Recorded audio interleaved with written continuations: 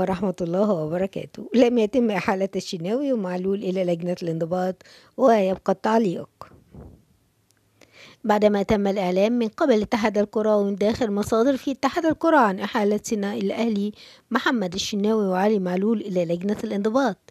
الثنائي الذي تعدوا بالضرب بالأمس على محمد الشيبي لاعب نادي بيراميدز أثناء مباراة الفريقين. والمسرحية التي أقيمت بالأمس في بطولة كأس السوبر.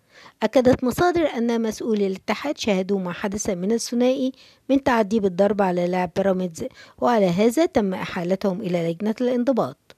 تواصل معنا مصدر من داخل اتحاد الكرة وأكد لنا أن هذا الأمر غير صحيح وأن الثنائي لم يتم إحالتهم للتحقيق ولا لجنة الانضباط كما أشيع.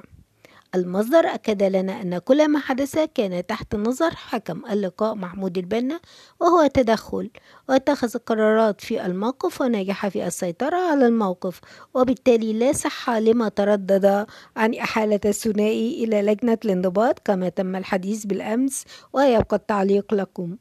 هم رايحين ليه أصلا وجايبين حكم؟ كانوا يدوم السوبر وخلاص بدل ما يتعبوا نفسهم وتذاكر رايح وتذاكر راجع. وحاجة نيلة.